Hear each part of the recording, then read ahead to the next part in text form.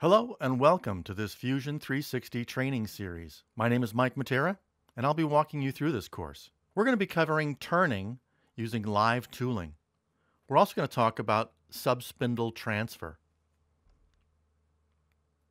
These lessons assume that you've already been through the Introduction to Turning series. There's a lot of important things that are covered in that series that we probably won't be going over here in any detail. But let's get started with this. The first thing we need to do is open the sample files. So let's go to the data panel and I want you to go to the CAM samples project folder where you'll find a tutorials folder. Now in here you'll find Chuck 3 soft jaws and turning hex cap. This is the actual part that we're going to be using for this lesson. Now we can't just open these and use them directly because when you open a file from the CAM samples folder, it's read only. So we're going to start by opening the turning hex cap and you'll see up here on the top it says read only. Sample files cannot be edited. Use save as to create a copy. So we're going to be copying this to a different folder. Now part of what we're doing in this project is we're going to attach this chuck to the part.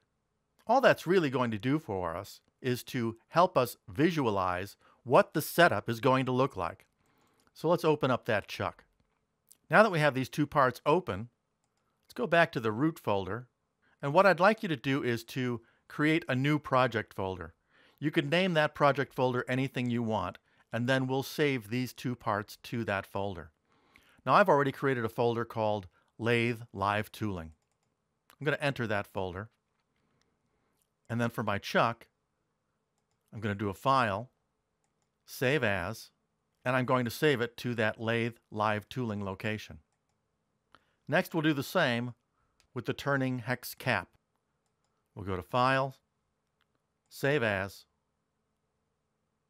and we're saving it to the lathe live tooling folder, or whatever your folder is called. Now you can see that this part is no longer in read-only mode we're able to do any modifications that we want to this part. So if we've completed that, let's minimize the data panel and talk about what we're going to do. Now in this part, we're going to be starting with the outer diameter. We're going to face it, we're going to rough the outer stock, we're going to drill the hole on the end, we're going to mill the hex around the front, we're going to put this radius lip along the outside of that hex. And then we're going to mill these slots. After we've completed that, we'll initiate a stock transfer and a cutoff on the bar. Once it's been transferred to the subspindle, then we can start work on the ID of the part, where we'll drill a hole, bore out the inside, and then create a thread on the inside of the part. Before we get into that, let's add something to this part so it looks more like bar stock. I'm going to go to modeling mode and I'm going to select the extrude command where I'll pick this face. And I'm going to drag that out and we'll drag that out to about two inches. That'll be enough material that we can hold the part in the chuck and still have something to visualize. Now I don't want to join this to the existing part. I want this to be a new body because I want to be able to cut off the backside of this model. If I join them together, I can't do that. So with that extended out and the operation is new body, we're going to say OK to that. Now if you wanted that color to match the color of the part, you can right click, go to appearance, and then we can grab this polished brass material and drop it on the part. Now it'll all look the same. Now, if you still have that chuck open, you can close that because we're not going to be using it from here. Once that's closed, we'll go back to our data panel and where you see that chuck in your folder, I want you to select the chuck, right click, and tell it to insert into the current design. So you have more screen space, you can minimize the data panel. Now you may need to rotate this around so you can see it better. Pretty obvious that the chuck is not pointing in the right direction, but we're going to move it around. When you import a part like this, the move copy command automatically comes up so that you can manipulate to put this part wherever you want. We're going to use these to rotate the part up 90 degrees. And then I'll use this arrow to move it back. And we could take a look straight on from the right side view here and move that to wherever we like. Now it doesn't really matter if we get it, you know, exactly resting on the chuck jaw or off of the chuck jaw. Remember, this is just for visualization. The only way this might matter is if you're using the face of the chuck as your zero reference. If you wanted to, you could probably make this minus 6.3, and that's actually pretty close. Once you have that in position, we're going to say OK. Now my chuck jaws are sized pretty closely to fit the outside of this part.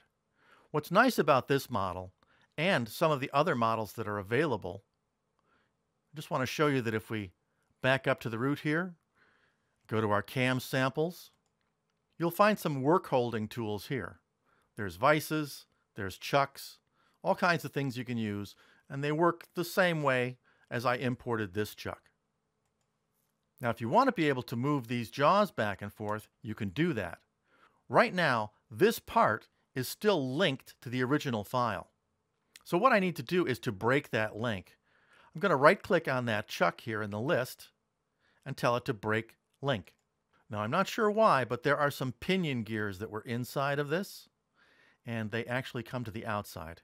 One of the engineers tried to explain it to me why that happens, and let me just say that those pinions don't have anything to do with us successfully machining the part. So what I'm going to do is select that pinion and hit delete on my keyboard. And since all of those pinions were connected together, it gets rid of all of them. And that's fine. We don't need them for what we're going to be doing.